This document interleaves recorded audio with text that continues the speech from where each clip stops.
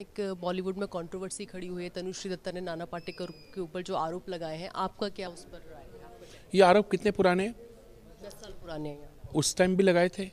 हाँ उस टाइम पे देखिए तनुश्री जी तो फिर भी एक कहीं ना कहीं से एक दो डिफरेंट जेंडर का इशू आता है।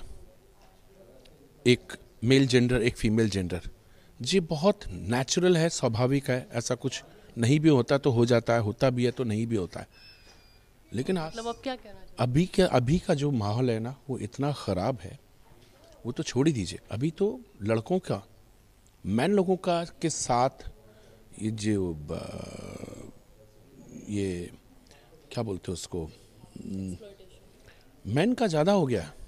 आपके बड़े बड़े अच्छे अच्छे फ़िल्म मेकर्स लोग ऐसे आए हैं जो कास्टिंग काउच लड़कों के साथ करते हैं।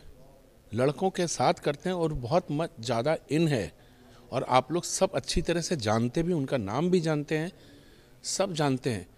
और आप मुंबई में क्या कहना चाहते हैं फ़िल्म इंडस्ट्री में? जहाँ पे महेश भट्ट जैसे लोग डेस्परेटली एक ऐसी लड़की को हमारे घरों में फ़िल्मों से, फ़िल्मों के माध्यम से हमारे घर में घुसाते हैं, जो दुनिया की सबसे बड़ी पॉन स्टार है हैं।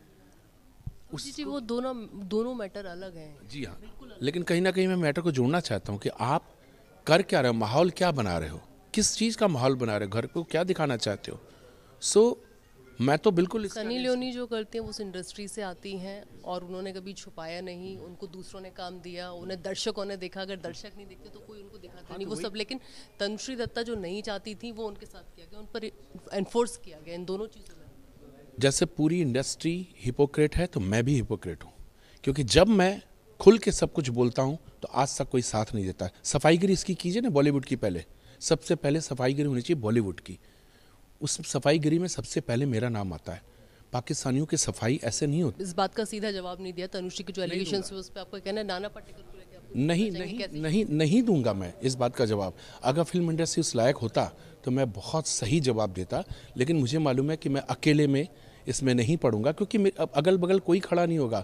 ये देशद्रोही, महेश भट्ट और ये सब करण जौहर वगैरह खड़े हो जाएँगे।